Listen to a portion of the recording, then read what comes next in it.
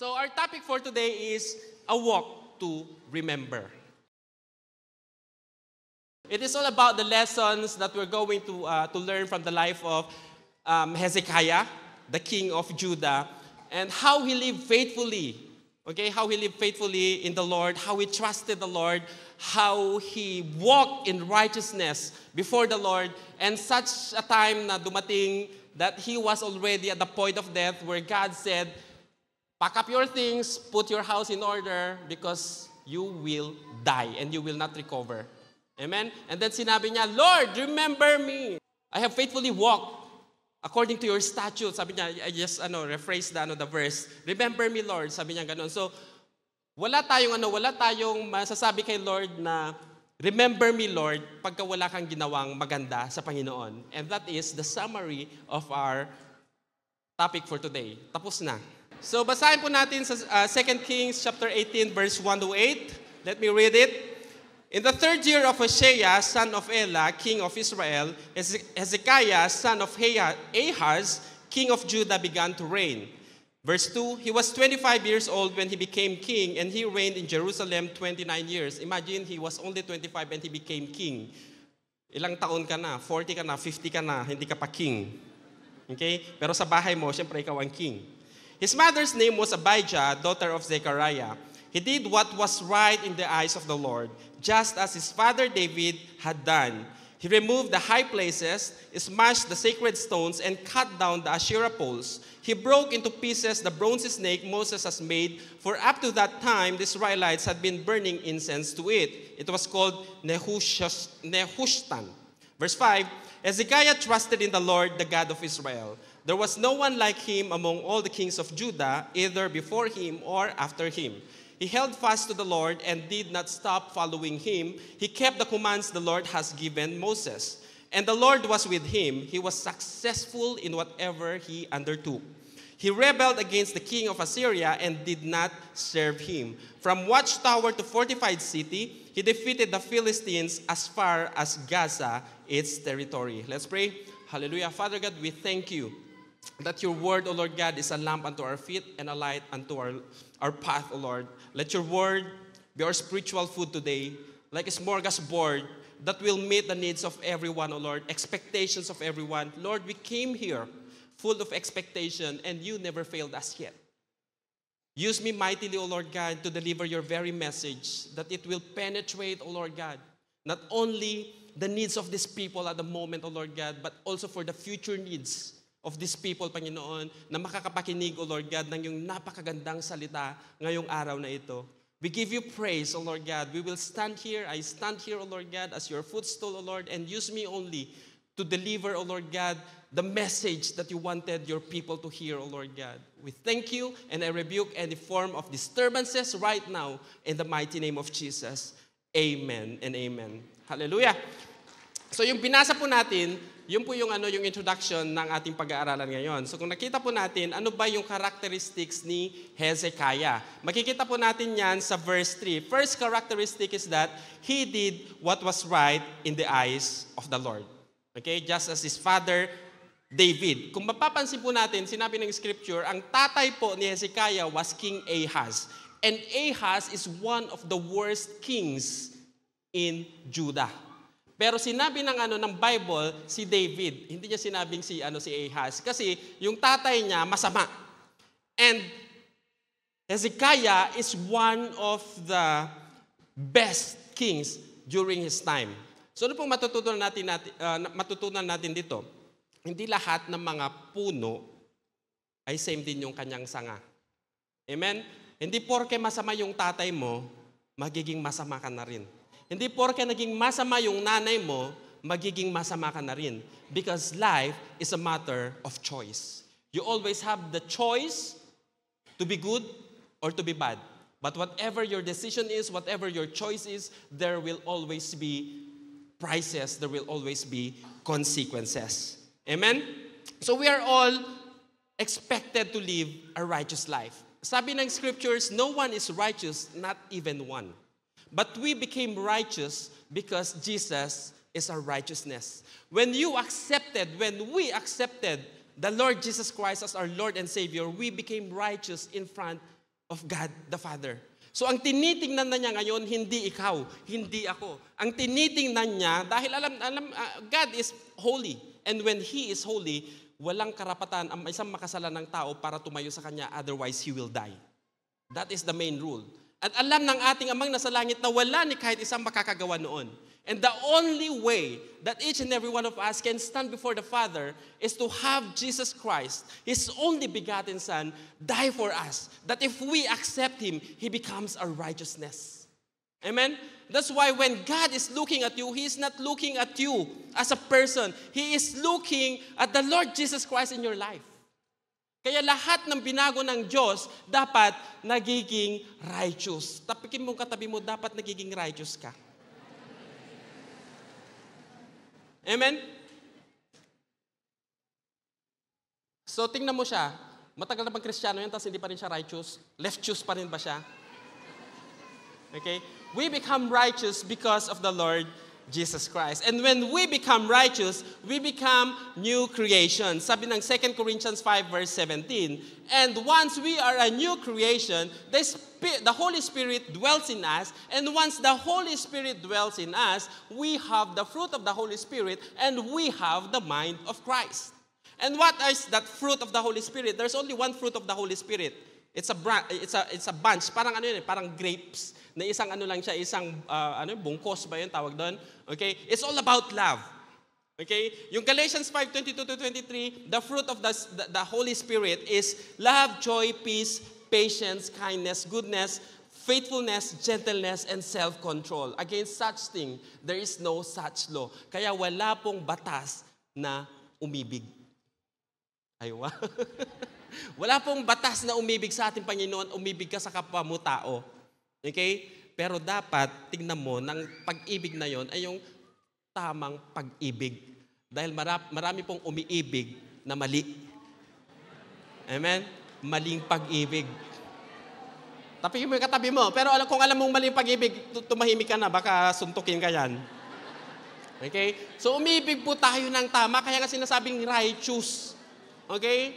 So ibig sabihin po kung ang ang joy ay walang rule or walang law na ano na nag, nag uh, dito na, na impose sa ano sa joy dapat maging joyful ka always. Okay? Joy to the world, the Lord has come. That earth receive. Okay? So, kakanta tayo mamaya ng ano ha, ng pang, pang Pasko. There should be peace. Okay? And by the way, joy is ano, um, joy is permanent happiness is temporary. Kaya pagka ano ka, pagka na, na, na-promote ka or na-increase ka lang, happiness lang yan, hindi yan joy.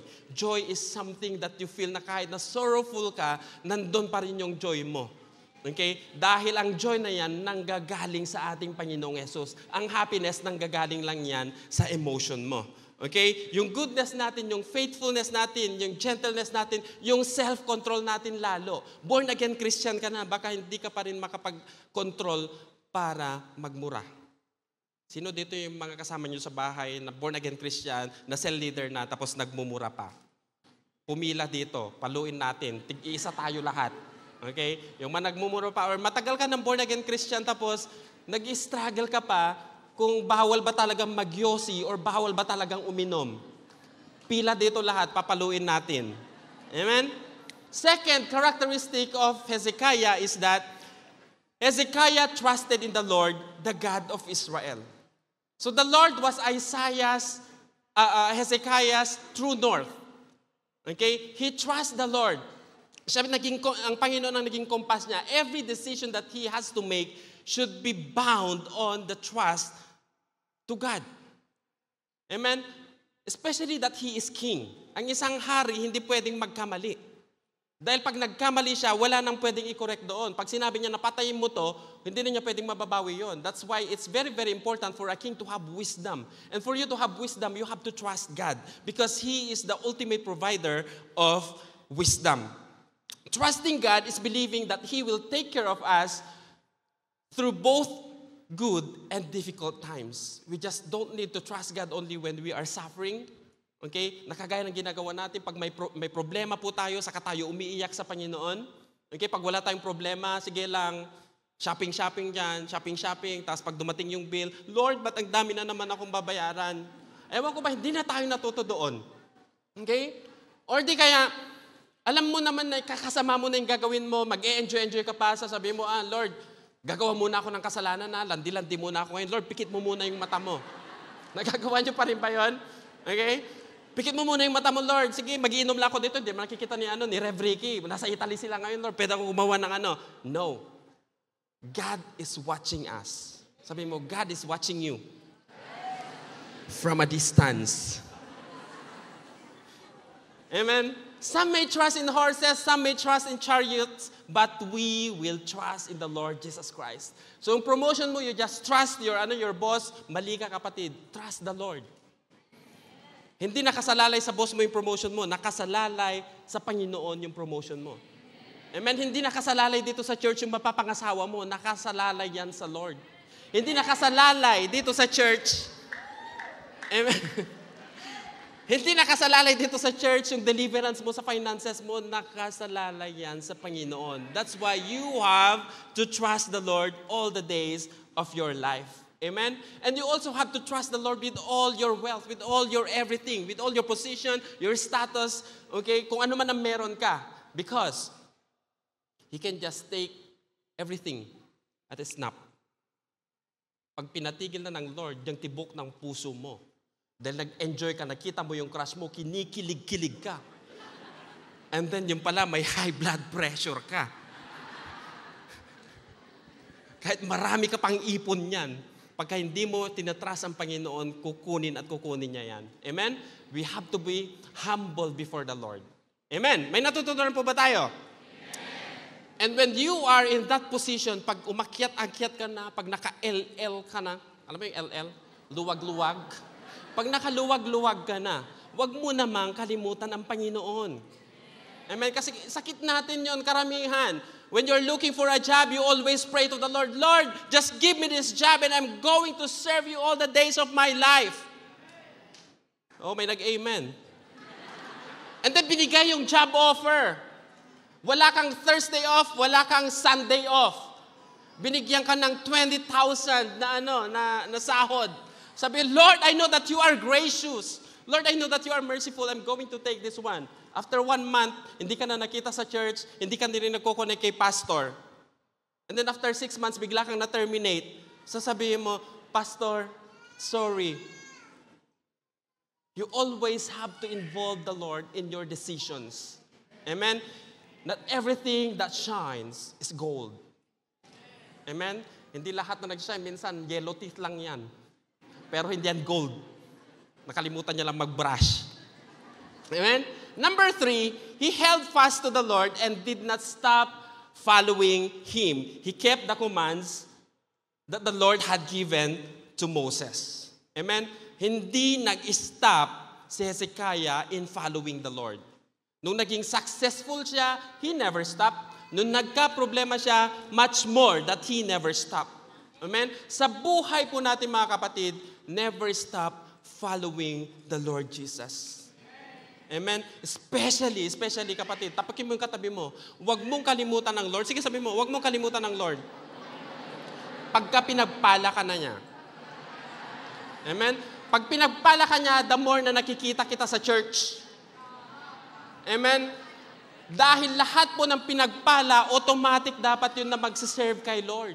Dahil pag hindi ka pa pinagpapala ng Lord, wala kang ang pamasahe pumunta sa church, wala kang ang panlibre ng shawarma, wala kang pang shabu-shabu. Eh, nung pinagpala ka ng Lord, ibigay mo na. Amen? Sino ma pinagpala dito ng Lord? Magtaas ng kamay. Hallelujah. Sige, tingnan ko kung sinong unang magme-message sa akin, manlilibre ng shabu-shabu ha. And following God, never, never, ano, never stop following God. Pagka nagtampo ka kay Lord, huwag ka namang magtampo, okay? Pagka may problema, huwag ka magtampo. At huwag yun ang magiging reason para mabackslide ka.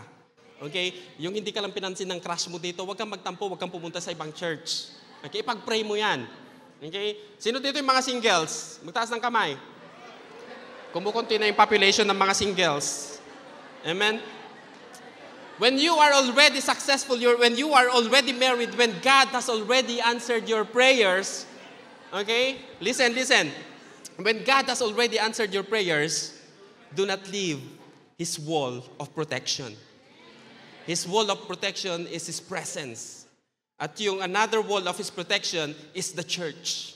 Amen? Because in this church, you can find refuge. In this church, you can find your accountability partners. In this church, you can find people who would counsel you at the time of your need because you cannot counsel yourself, kapatid. Especially if you are not close to God, you cannot hear His voice. Amen? You cannot hear His voice. Kahit na magpatira pa ka pa dyan, kung hindi mangungusap ang Lord sa'yo, wala din. But you go to church, the Lord is using the church, the Lord is using the pastor, the Lord is using your cell group leader, your primary leader to deliver your answered prayer. Kaya, tapikin mo yung cell group leader mo, sabihin mo, nasa iyo na yata ang answered prayer ko ngayon. Pero pag utang yan, wag lang. Okay? Ibang usapan yan. Amen? So Hezekiah fasted. Okay? So there are things in life, there are prayers in our lives na hindi nasasagot ng Lord dahil lang sa ano sa ordinary prayer. Amen? It has to be combined with fasting. Kaya ang ginagawa po natin sa church na to, we have 21 days prayer and fasting January 1 to 21 every year. And the Lord has been so faithful. Imagine mo, yung 31, nag-enjoy kang kumakain-kain, yung mga holiday fats, tapos magde-declare tayo ng fasting ng January 1, automatically stop ng pagkain. Amen? But the Lord has been so faithful. Nagmi-meeting kami ng ano, ni um, ang, ang primary leadership team and that our senior pastors. Praise God. Lahat ng mga nakalatag na plans for first quarter, second quarter, third quarter, and to the fourth quarter of 2024, for this church, pinangyari lahat ng Panginoon. Hallelujah. We were able to open Canada. We were able to go there in Italy. Lahat ng mga nakaplan na mga encounter na tapos. Amen? Because each and every one of us nag-participate sa group prayer and fasting. Amen? How much more? Pag kay lahat-lahat natin yung mga personal na mga prayers natin, every December 31, we put that on the cross. Amen? We put that on the cross, ilalagay natin yung mga answered prayer natin. Sino na yung mga nakatanggap ng kanilang mga answered prayers this year? Marami na. Amen? Kaya kung marami na, manlibre ka na. Libre mo yung ano mo, primary leader mo, kawawa naman siya. Amen? So, these are the three characteristics of Hezekiah. He trusted in the Lord, he followed his commandments, amen. He prayed and fasted. So, what are the blessings that Hezekiah received from the Lord? Verse 7 And the Lord was with him. Amen? Alam niyo pong pinaka-importante sa lahat, it's not all your material ano material possessions. It's not even kung anong uh, anong iniisip mo or yung peace mo or everything. The most important thing for a born again Christian like you and me is when you have the presence of God. Because if you have the presence of God with you, no one can harm you. Amen? And he was successful in everything that he undertook. Di ba napakasarap po niyan, kunwari sa trabaho natin, you are successful in everything that you do. Amen? Papasok ka pa lang sa opisina mo, mayroon nang agad offer letter for ano for new promotion. Papasok ka sa ano mo sa ministry mo, mayroon nang nag-aabang diyan na ano, nag-aantay na, na, na iba Bible study mo na lang. Amen? Papasok ka sa bahay mo, nakaluto na yung lahat ng pagkain mo. Pag open mo ng account mo, merong ano, merong may, may, suma, sumahod na kayo tapos hindi mo alam na sahod na pala. Amen? Ganun dapat mga ano, mga successful, mga mga pinagpala ng Panginoon, hindi yung naghihirap ka. I, I, I, I believe na kasama yung paghihirap ng isang Kristiyano, ang pag ano yung yung chastisement na tinatawag. Okay lang na maghirap ka, pero wag naman yung parating forever ka nang naghihirap. Amen? Because yung paghihirap natin, tinutut, tinuturuan lang tayo ng Panginoon to run to Him. Dahil wala ni kahit isa sa atin ang nag enjoy na maging mahirap. Sino dito nag enjoy maging mahirap? Ibigay ko yung kahirapan na ano, na, na gusto niya. Dagdagan natin yung kahirapan. Sino? Sino? Wala, di ba? Lahat tayo gustong guminhawa ng buhay. At yung secret niyan, yun yung ginawa po ni Hezekiah. He trusted the Lord. He followed the Lord all the days of his life. He prayed and fasted. Amen? And God prospered him. Amen? He was successful in everything that he do. Yung katabi mo ba, prosperous na yon? Tapikin mo nga, sabi mo sa kanya, prosperous ka na ba? Successful ka na ba? Amen? And when, when it comes to success, it's always relative or it's always subjective, okay? hindi ibig sabihin na marami kang pera, successful ka na. Okay? Hindi ang sa- pagiging successful, ang pagiging abundant, ang pagiging prosperous, hindi lamang po pera yan. Amen? Pwede ka maging prosperous sa kagandahan ng iyong budhi. Kagandahan ng iyong ugali. Yung kilalang kilala ka, na pagka sinabi, ah, si Brother Clifford, napaka ano yan, napakabait niyan. Amen? That is even, it's more than monetary success. Na pag sinabi, ah, si Naomi, napaka-jolly niyan. That is her success. Amen? Si Darren, napakayaman niyan. That could be his success. Si, ah, sino ba, yung VIP natin ngayon, successful husband and wife siya, successful yung family niya. That is success. Amen? So tanggalin po natin sa notion natin na pagdating sa success, pera-pera lang. Amen? But, brothers and sisters, I want to tell you the secret of becoming successful na kagaya din ng ginawa ni Hezekiah na matatagpuan po natin sa Joshua chapter 1 verse 7 to 9. Sabi niya doon, Be strong and very courageous. Be careful to obey all the law my servant Moses gave you. Do not turn from it to the right or to the left, that you may be successful wherever you go. Ang pinakasikreto nun, be careful to obey the Word of God. And for you to obey the Word of God, you should know what's the Word of God. Baka naman nag-o-obey ka pero hindi mo naman alam. So basahin mo to. And then verse 8, kagaya din po ng ano, no? be careful to follow. Sino makasama kong mga drivers dito? Minsan kasi pag nagda-drive ako, I trust in my instinct. Okay? Minsan papasok ako sa office, pag bet ko lang na ano, na, na pumasok. And then one time, inabot ako yung 8 kilometers na ano, from my, my house to my office in Dafsa. 8 kilometers lang siya. Inabot ako ng 2 and a half hours. And after that, hindi na ulit ako pumasok. Kasi dumaan ako dun sa salik. Eh, feeling ko ng pagsalik, siguro konti kasi ayaw nilang nagbabayad ng 4. Ala, inabot ako ng 4 hour, ay ano, 2 hours and a half. Pero pag nag-waze ka, isang oras lang pala. It's because I did not follow the direction of ways. I followed my own rule. Ganon din po tayo minsan sa buhay natin. If you don't follow God, Amen? Ang daming masasayang. Sayang yung oras, sayang yung pera mo, sayang yung ano mo, yung, yung time mo na ano na invest na nagtrabaho ka na doon. Sayang lahat, ang daming sayang. Kaya pagka hindi mo unahin si Lord, talagang maraming masasayang. Amen? Verse 8 sabi niya, Keep this book of the law always on your lips. Meditate on it day and night so that you may be careful to do everything written in it. Then you will be prosperous and successful. Two times na sinabi ng Biblia that you can be successful in just following the Word of God. Amen? Gusto niyo bang maging successful? Nagme-meditate po ba kayo? Sure? Is that your final answer? Ba't parang kumunti? Amen? So, as a pastor, pagka maraming mga ano namumroblema, if I go to counseling and then namumroblema, ang unang tanong ko, do you know the Word of God? Tapos tameme na siya. Binabasa mo ba ang salita ng Diyos? How's your prayer life? Amen? The reason why we keep on sinning is because we are not, you know, we are not conscious of the Word of God. We are not even knowledgeable of the Word of God. Because once you have that knowledge, once you, you put that knowledge into practice, there is no way, there is no way na sasadyain mong magkamali. Dahil walang pagkakamali na sinasadya. Kaya mga brothers, mga husbands and wives, hindi nyo pwedeng sabihin, hindi ko sinasadya. That was your choice. Lahat mga man ng babae dyan, lahat mga ng lalaki, sinabi nila, hindi nila sinasadya. That was their choice. Pag may kilala ka, tapikin mo, pero pasikreto lang. Okay? Be strong and courageous. Do not be afraid. Do not be discouraged. For the Lord your God will be with you wherever you go. Amen? Huwag kang matakot, huwag kang ma-discourage because the Lord your God will be with you wherever you go. Pagka alam mo ang salita ng Panginoon. So, what happened during the reign of Hezekiah? Let me just summarize yung chapter 18 verse 9 up to chapter 19 and then we can go and jump to chapter 20. So verse 9 to ano to 12, Assyrians took over Samaria, the capital of Israel, and Israelites did not obey God so they were deported. So hindi nag-obey yung mga ano um, yung, yung mga um, Samarians, which is the capital of Israel that time, hindi sila nag-obey kay Lord. Kaya nakuha sila ng king of Assyria, si Sennacherib. Amen. And then after na nakuha yung ano yung team ng Samaria, nag-threat din yung king of Assyria to get the kingdom of Judah kung saan king si Hezekiah. Amen? And then si Hezekiah being the king, syempre ipaglalaban niya yung kanyang kingdom.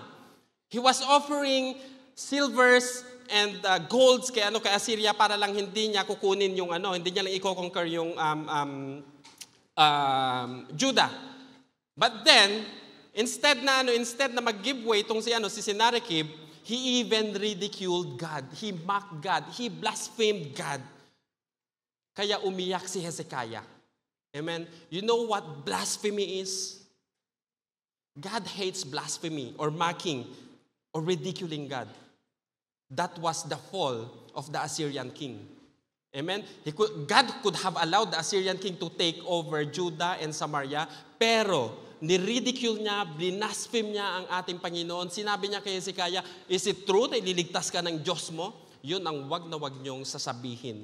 Pag alam mo that God is powerful, never ever question His authority in the life of your brother or sister.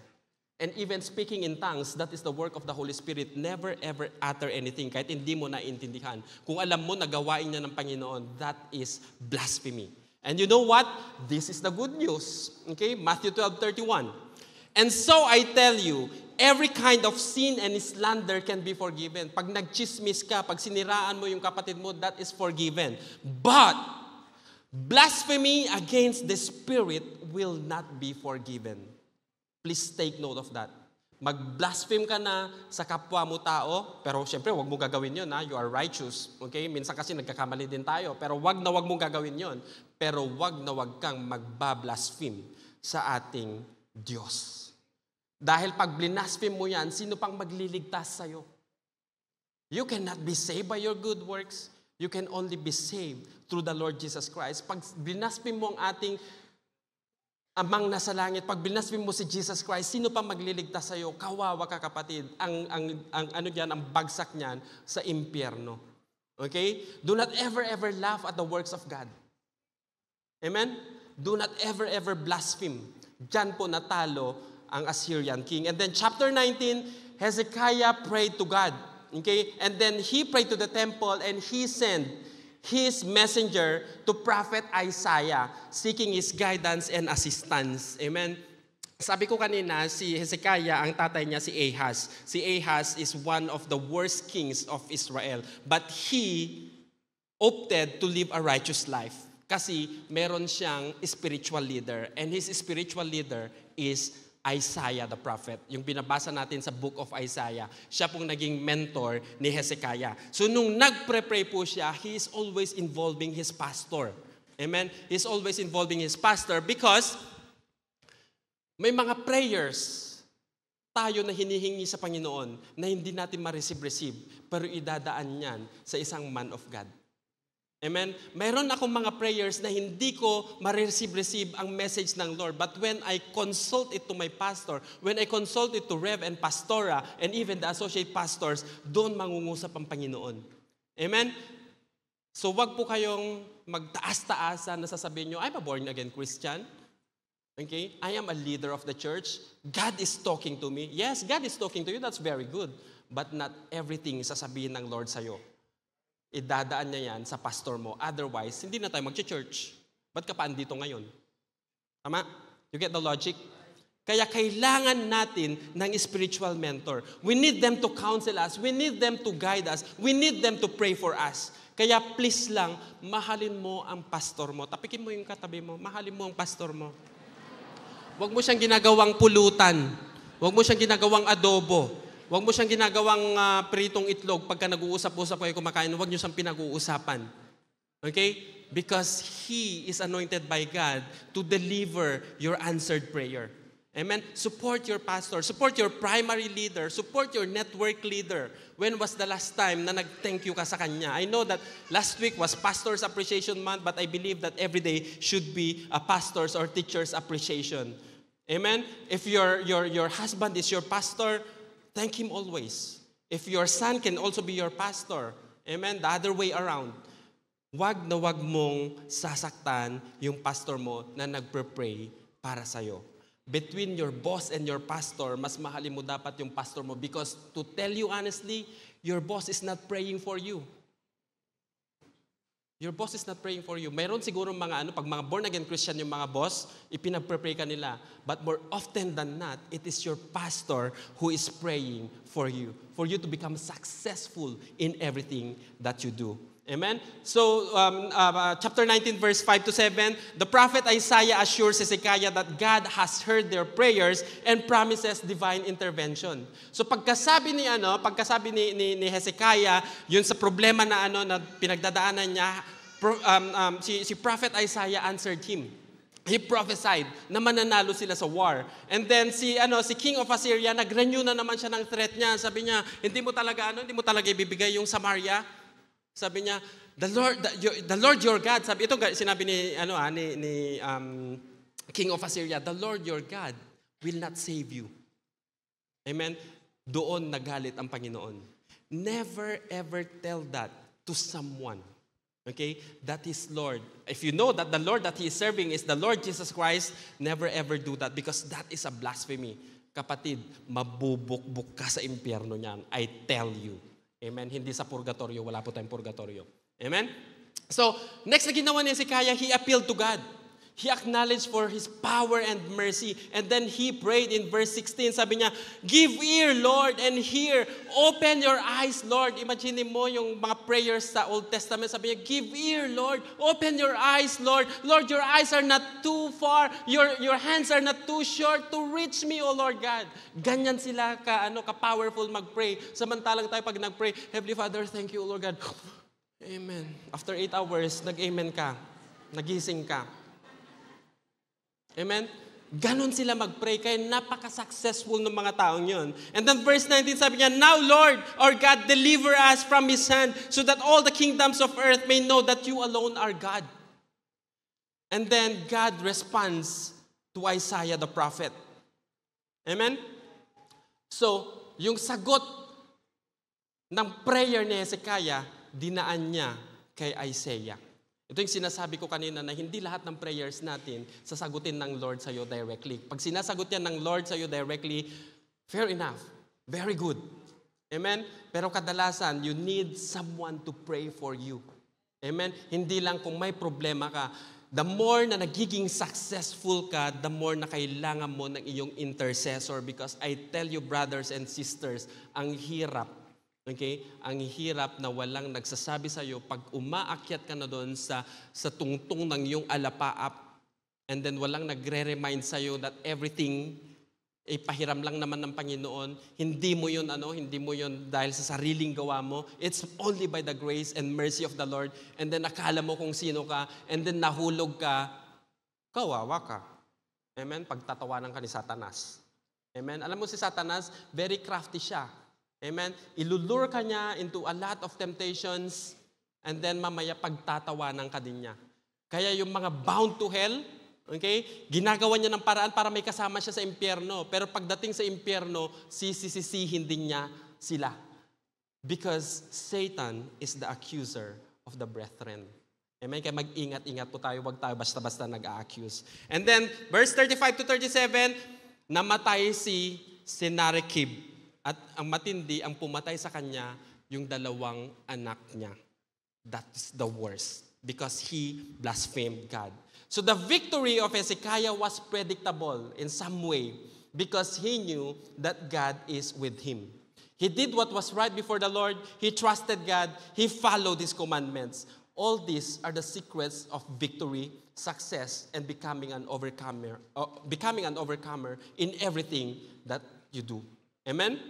If you have God, you lack nothing. Sabi mo sa katabi mo, you lack nothing. Nothing is missing. Everything is complete. Amen. So those were the happy days of Hezekiah. Pero syempre sa buhay, wala namang lahat happy days. Kaya may gulong ng palad. Minsan nasa ibabaw, minsan nasa ilalim. So dumating po sa chapter 20. Amen. Nung sinabihan siya ng prophet, sabi niya doon sa verse 1, In those days, Hezekiah became ill. Sabi mo, he became ill. And was at the point of death. Parang nasa ano na siya, no? nasa 50-50 situation na siya. The prophet Isaiah, son of Amos, went to him and said, This is what the Lord says. Put your house in order because you are going to die, you will not recover. Ang matindi niyan, ang nagsabi pa sa kanya, yung mentor niya, yung pastor niya. Kung ako siguro yon sasabihin ako ni Reb, Pastor Lito, mag-pack uh, ka na, mag-ready-ready ka na dahil kukunin ka ni Lord. Okay? Kung akong sasabihin nun, I only have two options. It's either to respond or to react. Amen? Mag-react ka, magdradrama-drama ka, Lord, Ilang ilang minutes po ba, Lord? Pwede po ba akong kumain ng maraming marami? Kasi alam po, walang pagkain sa ano eh. Sa, sa langit, kakanta-kanta na lang tayo. Pwede po bang mag-overeating? Or magdradrama-drama ka siguro, Lord, ang dami ko pang hindi ano, wala pa akong anak, hindi pa napatay yung mansyon namin. Lord, ganito, marami pa kaming travel na pupunta, marami pa kaming mga, mga dramang bukid na gagawin. Ganyan-ganyan, gagawin mo. Or you have to respond. Like what Hezekiah has done. Sabi niya, Put your house in order because you are going to die. You will not recover. Amen? Anong ginawa niya? Hezekiah turned his face to the wall. Ito yung uh, ginagawa ng mga bata, face the wall. Pagkapapagalitan mo yung anak mo, face the wall. Sabi ko, pero sa, sa, ano, sa Jewish culture, pag nag-face the wall sila, ibig sabihin, matindi ang kanilang pinagdadaanan. And then when they tear their clothes, ibig sabihin, at most distressed ang nangyayari sa kanila. Kaya pag nakakita ka ng ano ng Israelite, 'di ba friends natin mga Israelite, pagka nagganon sila, ibig sabihin matinding pin ang ano nila, yung pinaglalaban nila, hindi yung chance mo para makasilip. Amen? So, yun ang ginawa ni ano ni, ni Hezekiah, he responded. Amen? Nagpray siya. Kaya pag may problema po tayo kapatid, dumating yung time na bibigyan ka ng taning, Or could be, let, let's make it lighter. Okay? Hindi pa naman tayo mamamatay. By the grace of God, mabubuhay pa tayo bukas. If your company told you, Brad, um, uh, ano mga pala, pa, Albert, come to my office. Tapos syempre, mag-smell-smell pa yung boss kasi hindi man sasabihin na you're terminated. Tapos sasabihin pa niya, maganda ginawa, maganda yung ano ng company, ganito, ganyan, ganyan, ganda ng ano mo.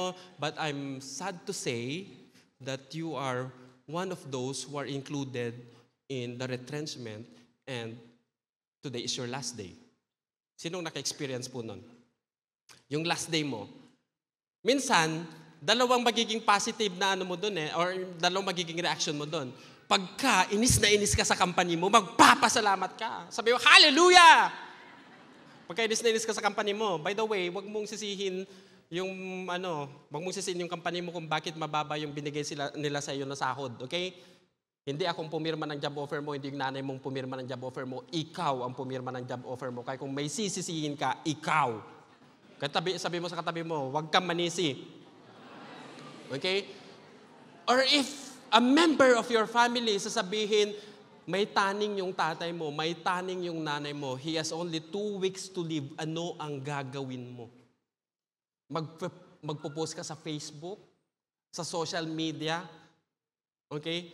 or you face the wall and cry out to the Lord. Amen? I believe na mas maganda pong we have to face the wall and cry out to the Lord. Amen? Only God has the power to reverse His decision in our lives. Si God ang nagsabi that today is your last day, mamamatay ka na, put your house into order. Nung sinabi ng Lord sa kanya that put your house into order, that gives you a clue that He is still giving you a chance. Kasi yung sinabi niya ngayon na mamamatay ka na, oh, oh, wala na yung last breath mo. Pero sinabi niya, put your house into order. Kaya pag may dumarating na pagsubok sa buhay natin mga kapatid, God is giving us the second chance to respond or to react. A Christian should respond to a problem based on biblical standards. At yung biblical standard na yan is to pray. Amen? Kaya minsan pinagtatawanan tayo mga Kristiyano kasi problemadong problemado ka na, umattend ka pa sa church, nag-praise the Lord ka pa, okay? Nagpahale-hallelujah ka pa, tapos titignan ka na, akala ko pa problemado to, but nagpa-praise, praise the Lord. Because when you praise the Lord, when you worship the Lord, amidst your trials and your, your struggles, amen, God can just easily reverse that issue in your life. Amen? Kaya mamaya kapatid, kung sino may pinagdadaanan dito, palakasan tayo ng worship sa Panginoon. Sabihin natin, Lord, remember me. Amen? Sabi ng ano, ng ng ah, verse ano verse 3. Remember Lord how I have walked before you faithfully and wholehearted devotion and have done what is good in your eyes. So nagano siya nag-face the wall po siya, umiyak siya. Amen. Because sabi niya doon, he wept bitterly. Hindi ko alam kung paano ka bitter yung iyak ni ano ni Hezekiah, pero siguro naramdaman na natin or na-experience na natin kung paano umiyak. 'Di ba? Nung naipit yung daliri mo sa ano sa banyo, 'di ba ang sakit? Sino, sinong nag-experience nun? Naipit, ang sakit nun. Bitter yung ano mo doon kasi sabi mo, Lord, na-murder ang aking kuko. Yung pa yung unang ano talaga no, na-murder yung kuko. Ang sakit nun. Okay? Pero yung kukunin yung buhay mo, mas masakit, kapatid. So he wept bitterly and sabi niya, Remember, Lord. And that is our title, A Walk to Remember. Amen, diyan ko kinuha yun. Sabi niya, Remember, Lord. Hindi inuutosan ni Hezekiah si Lord na, pa- na ano na, na, na to remember him, okay? At hindi rin makakalimutin ang ating Panginoon because He knows us. Nung nasa womb pa tayo ng ating nanay, nung nasa sinapupunan pa tayo, He already knew us. He already knew kung ilang taon tayo mabubuhay. Amen? That was just an endearment. Nung sinabi niya, Lord, remember. Endearment because He lived righteously, He lived faithfully, He walked with God. Kaya may mayroon kang ano, mayroon kang karapatan magsabi kay Lord, Lord, remember me. Kung mayroon kang ginawang mabuti. Pero pag wala kang ginawang mabuti, sabi mo, Lord, remember him who is praying for me. Amen. Lord, remember my pastor, he is praying for me. Lord, I'm guilty. O at least, humble ka. Okay? It takes humility to reach the throne of God. Amen? So remember the Lord. Mag-face the wall tayo. What good have you done that the Lord will remember? Ano ang magandang ginawa mo na na hindi makakalimutan ng Panginoon? At the time of your distress, ano yung masasabi mo, Lord, remember me, how I walked faithfully. Lord, how I served your people. Lord, how I served you. Okay? There's one person in the scriptures na nagsabi lang siya, remember me, Lord. And then automatic, at that point, he got saved. Naalala nyo nung, ano, nung crucify si Jesus Christ, may two thieves sa kanyang kanan at kaliwa. Yung isa nire-ridicule siya, minamak siya, tapos sabi ng isang, ano, um, isang, um, isang magnanakaw, sabi niya, Jesus, remember me when you come into your kingdom. Luke chapter 23, verse 40 42. Then Jesus said unto him, Truly I tell you, today you will be with me in paradise. Makasalanan yung taong yun. Sabi niya, remember me, Lord. Okay? Yung pagsabi ng remember, that's a sign of humility. Amen? Kaya pag gusto po natin na sagutin ng Panginoon ang ating mga panalangin, we have to have that spirit of humility. Amen? Sabi niya, how I walk before you faithfully and wholehearted devotion. Hezekiah hated what the Lord hates. Anong ayaw ng Panginoon? Idolatry. Amen? Tinanggal niya lahat yung mga ano, mga Diyos-Diyosan nila doon sa ano, sa Samaria. Okay? Because God doesn't want to have a rival in your life. Ayaw niya ng may karibal. Kagaya ng asawa mo, tapikin mo, ayaw ko ng karibal ka mo. He devoted to God. He meditated day and night. That's why he was entitled to tell God, Lord, remember me. And have done what is good in your eyes. Ano ba yung mga good sa eyes ng Panginoon? He gives. He supports. He took care of his flocks. He took care of his kingdom. He listens to his people. Amen? He prays for his flocks. Yun yung mga good things na ginawa ni Hezekiah. And then, verse 4, Before Isaiah had left the middle court, the word of the Lord came to him. Imagine mo, in just split seconds, nung sinabihan siya ng kanyang pastor na mamamatay ka na daw, uy, mag-impake ka na. Ayusin mo na yung buhay mo, mamamatay ka na daw. Ang sarap nun, no, yung sasabihin ka na mamamatay ka, kaysa naman bigla kang namatay. Gusto niyo yung gano'n na, ano, na pagkamatay? Pero ayaw niyo pang mamamatay, di ba? Siyempre, gusto pa natin mabuhay ng ano. Pero kung given the chance na sasabihin na, oh, mamamatay ka na in 36 hours, at least maging mabait ka na. Pero I want to believe na hindi yan yung, yung plano ng ating Panginoon kasi gusto niya makita kung gaano ba kaseryoso ang puso natin. Amen? Dahil pag sinabihan ka nga naman na mamamatay ka na, abe, magpakabait-bait ka na. Amen? Pero mapalad ka pag sinabihan ka pa rin. Pero pag hindi, you have to be ready all the time. Kagaya ng mga quizzes, mga exams, mga surprise exams. And then before Isaiah had left the middle court, the word of the Lord came to him Go back and tell Hezekiah, the ruler of my people, this is what the Lord, the God of your father David says I have heard your prayer and, li- and seen your tears. I will heal you. Praise the Lord. Pagka iniyak mo yung problema mo sa Panginoon, and you know in your heart that you have repented of the sins that you have done in the past, and you are living righteously at this moment, there is no way that the Lord cannot hear you. Amen? You just need to worship the Lord. You just need to trust the Lord. Amen? God is a merciful God. Sabi ng Romans 9 verse 18, Therefore God does mercy on whom He wants to have mercy. Pipiliin ng Lord kung sinong gusto niyang kaawaan, kahabagan. God is a righteous God.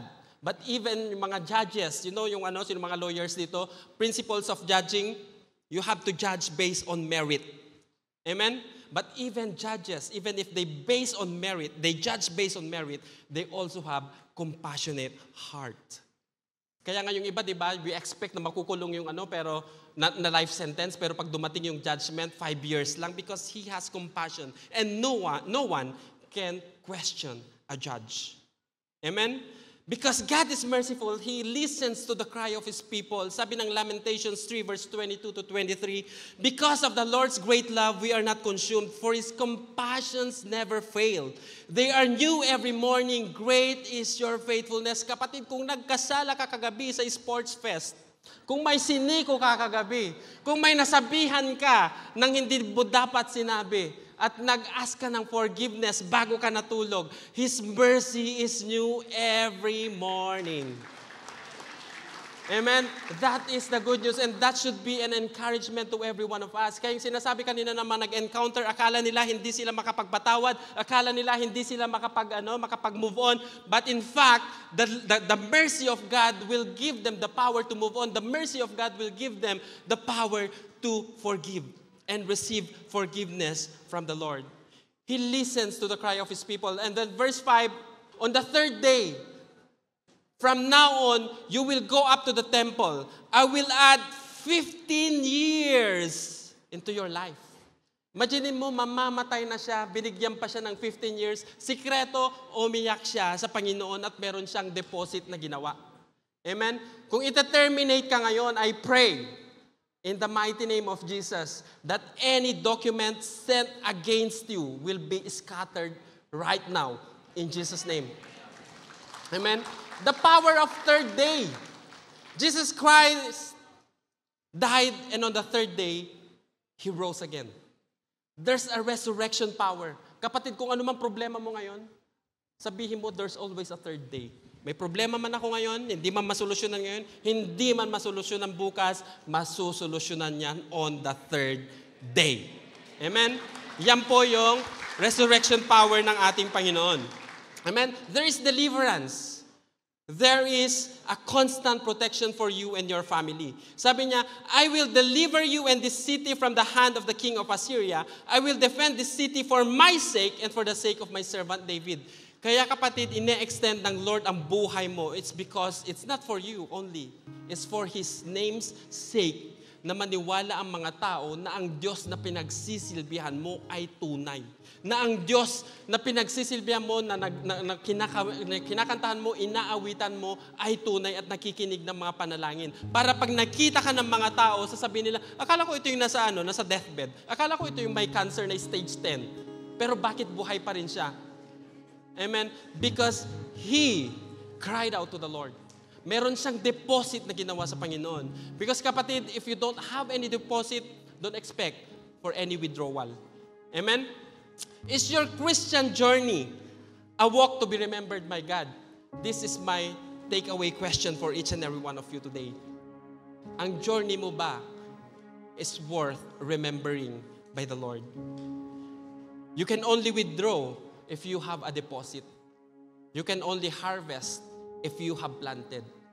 You can only receive your wage if you have worked for it. You can only get respect when you earn. What is that that God want to remember when you ask for a prayer today? Meron ka bang ano, meron ka bang long unanswered prayer, kapatid?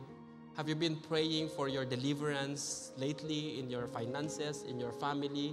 You want restoration, you want forgiveness, your health, yung family mo ba, nauubos ba yung mga pinapadala mo dahil sa sitwasyon sa family sa Pilipinas or any legal cases or anything, yung promotion na matagal mong inahangad, inabot ka na ng 12 years sa company mo, hindi ka pa rin na-promote. Yung trabaho na gusto mong ma- ma- ma- ma- makuha, hanggang ngayon hindi mo pa rin nakukuha. Today is your chance. Today is your day. Kapatid, there is always a third day. Amen. Your reverence, your obedience, your honor, your knowledge in His Word, and your faith in the Lord is your constant currency in times of your testing. Amen? Yung po, yung panghawakan po natin, yung pananampalataya natin that we trust in the Lord. We have faithfully walked in the Lord. We have obeyed His commands. Hindi tayo na backslide despite of the problems, despite of the trials, kapatid. Be strong and courageous. He is with you till the end of age. Amen? I want you to stand up and pray to God. Commune to God.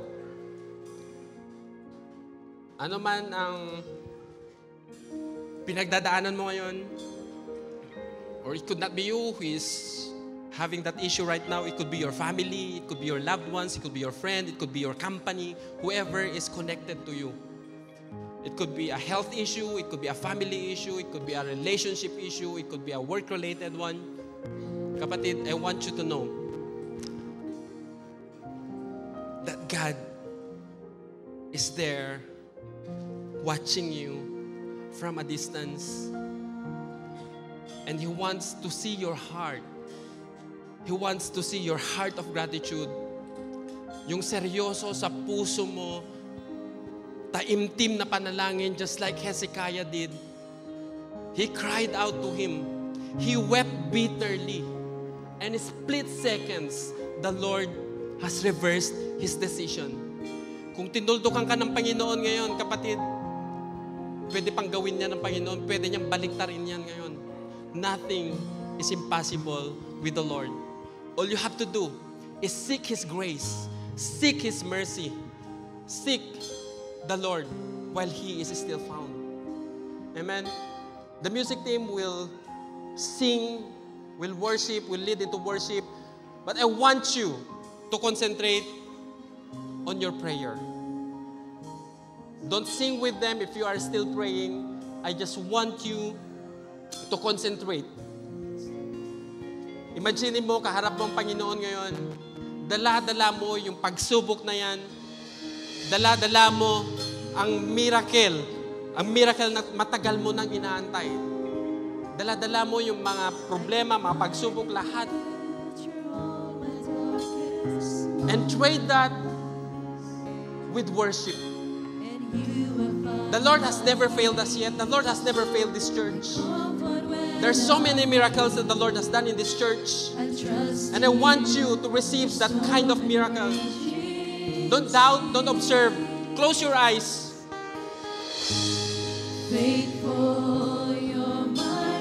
Again, don't sing with us if you are still praying with the Lord. You can cry out to the Lord. You can shout out to the Lord. Cry like Hezekiah cried.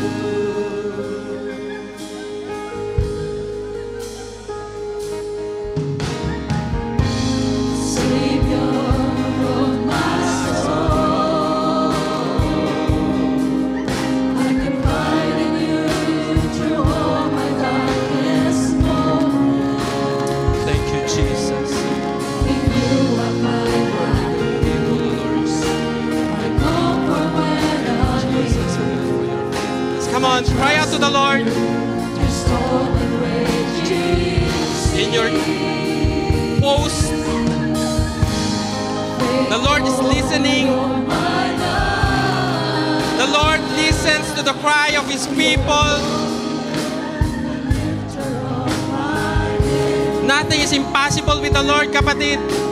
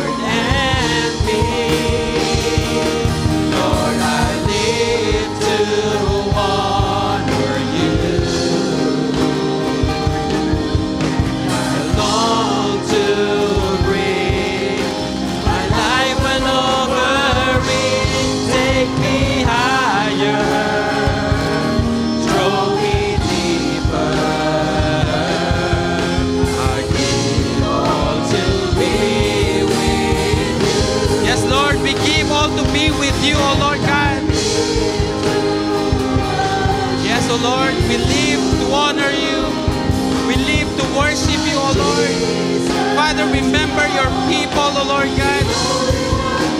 Remember the needs of your people, O Lord. Just like what you have done to Hezekiah, O Lord God.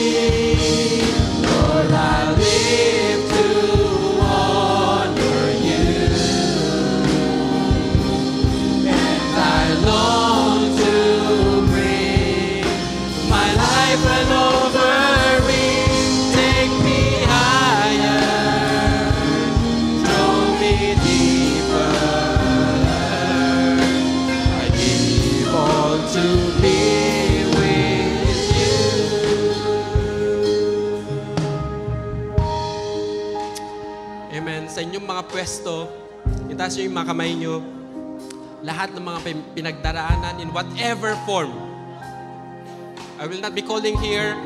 I know that wherever you are, the presence of the Lord is with you. Cry out to the Lord. Sabihin mo sa Panginoon, you can shout it. Kung ano man pinag, pinagdadaanan mo kapatid, just cry out to the Lord. He is listening right now. He is in the midst of us. Nothing is impossible with the Lord. You can cry out. You can shout to the Lord anong kailangan mo ngayong araw na ito, anong kailangan mo in the future. Come on, don't be shy. Huwag mong tingnan yung katabi mo. Miracles happen in your post. I don't need to call you here. The pastors don't need to lay their hands on you. I know that the Lord is working right now. Wherever you are, iyak mo yan sa Panginoon just like Hezekiah did. Please take this seriously, kapatid. Kung nangungusap ang Panginoon sa'yo, do not harden your heart. Never ever harden your heart. It takes humility. It takes a lot of humility to cry out to the Lord and tell Him, Lord, I need you. Lord, I can do nothing without you. Lord, you are my fortress. Lord, you are my refuge. Lord, you are a miracle giving God. Lord, you are my way maker. Lord, you are an answered prayer, oh Lord God, to me. Lord, you are marvelous. Come on. Your worship to the Lord depends on your expectations sa mga panalangin mo, kapatid.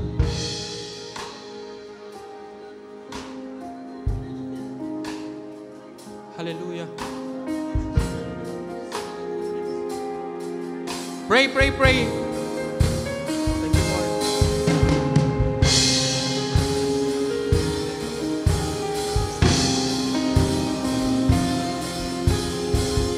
Pag natapos ka na mag-pray, sing with us, worship with the Lord.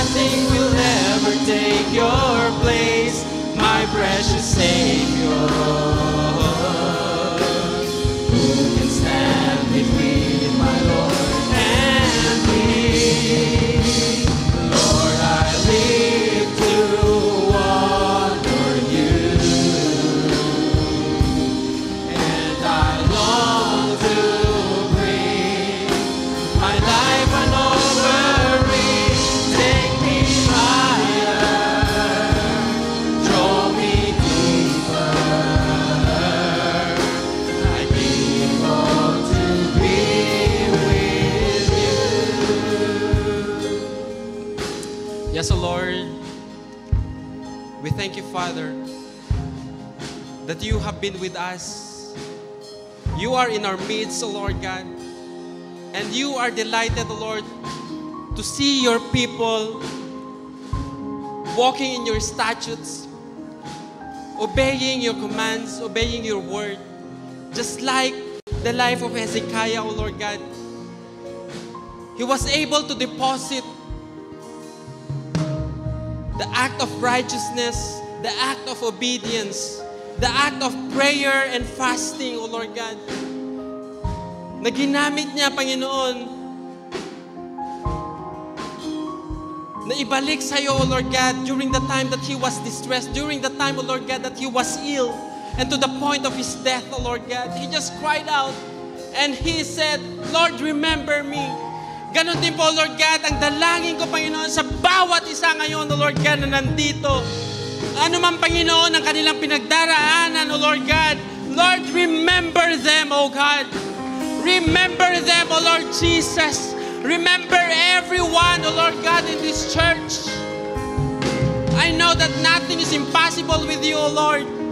Your hands are not too short, your eyes are not too far, O Lord God, to reach to your people, O Lord God, because you, you know them by name. You called us by name, O Lord God. Our names are written and inscribed, O Lord God, in the palm of your hands, and we are special, O Lord God. Maraming maraming salamat, O Lord, sa buhay ng bawat isa.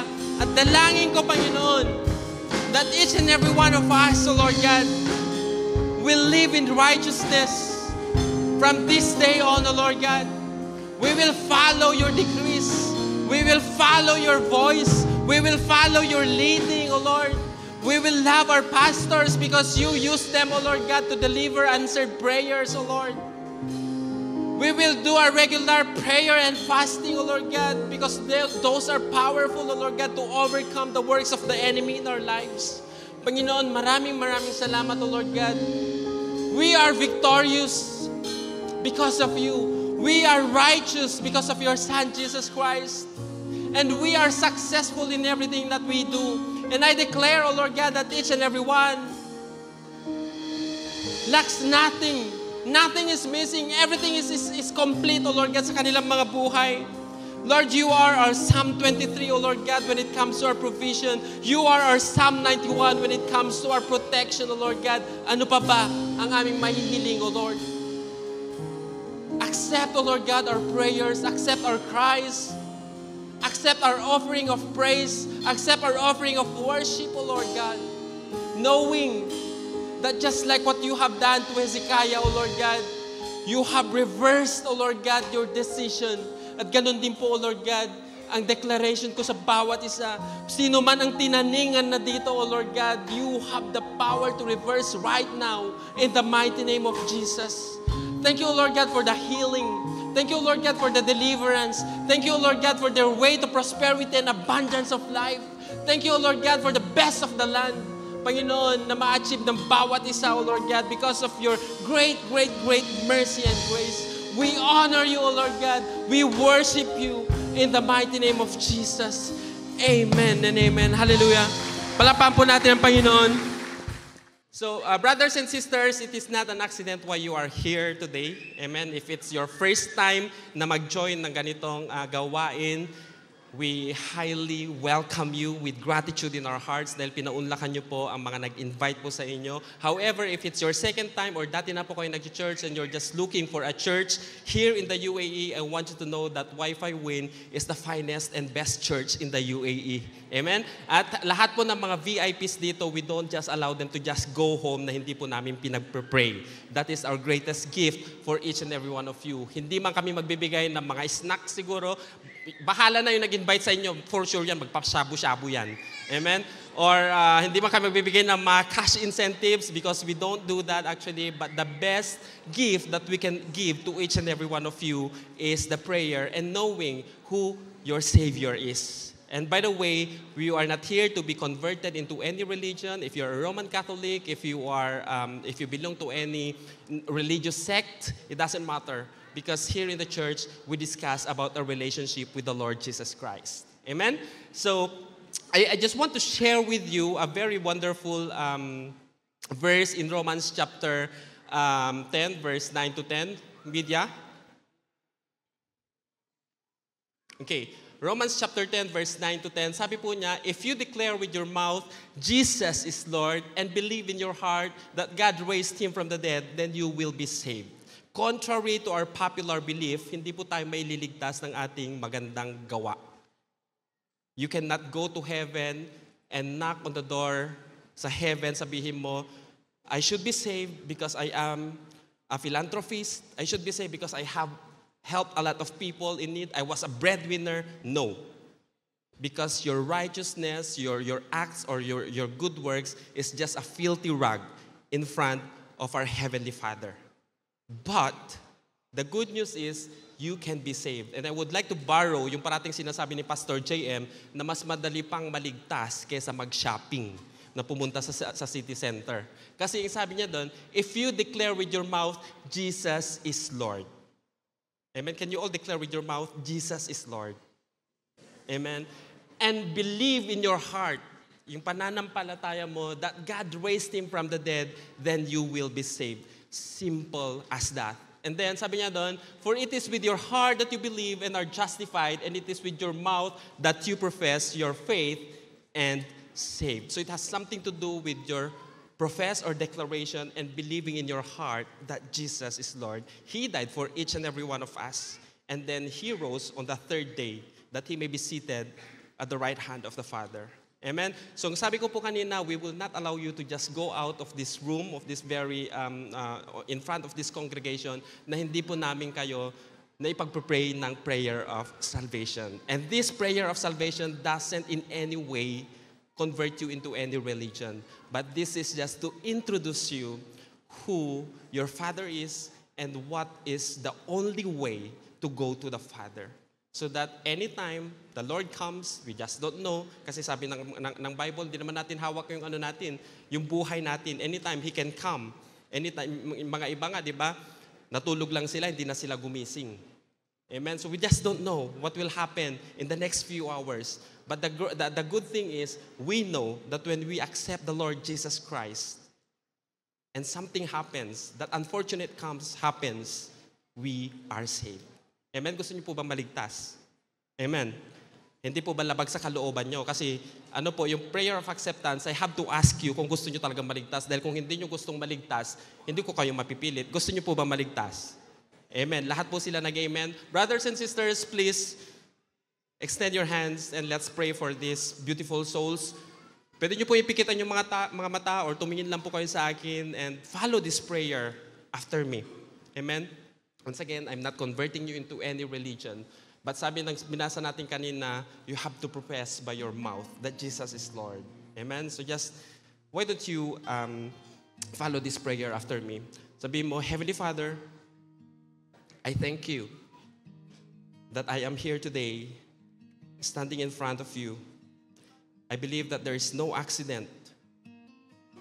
You have ordained this day that I'm committing my life to your Son, Jesus Christ, who died for my sins, and he rose up from the dead that I may have an eternal life. I commit to you my life and forgive my sins.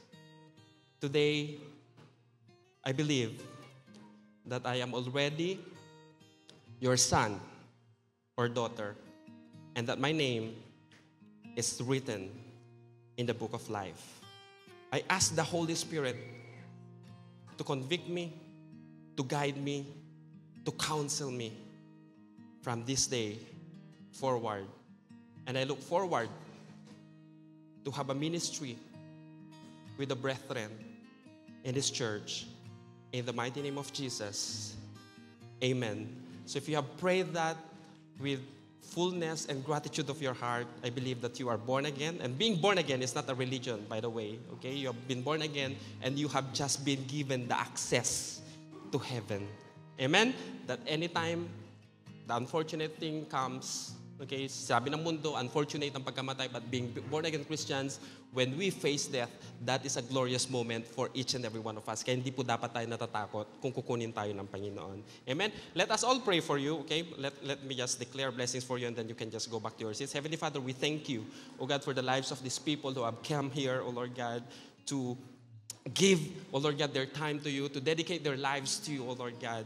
Lord, we believe here in this church that there's no such accident, O Lord God, because you have already ordained this day na dumating sila ngayon, O Lord, and surrender their lives to you. Whoever here, O Lord God, is suffering, O Lord God, from anxiety, whoever here, O Lord God, is in the brink, O Lord God, of suicidal thoughts, O Lord God, we rebuke that in the mighty name of Jesus, O Lord God. And Father, we know that you are a generous God. Ano man po, Lord God, ang mga Dalangin, O Lord God, ng lahat ng mga kapatid na ito, O Lord God, I know na bago sila, O Lord God, dumabas sa bahay, sambahan na ito, they have already received their blessings, Lord God. And we thank you, Father, protect them, guide them, Nothing- is lacking, nothing, O Lord God, is missing in their lives, everything is complete, they are victorious, they are successful, they are overcomer, because they have already accepted the Lord Jesus Christ as their Lord of righteousness. In the mighty name of Jesus we pray, amen and amen. God bless everyone.